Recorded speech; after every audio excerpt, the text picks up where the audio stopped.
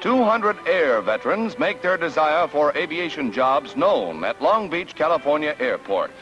Newly organized as the Association of World War II Pilots, the men are under the leadership of Chick Logan, who contends that the organization of freight and express airlines would provide employment for thousands of veterans now on the outside looking in at the aviation industry.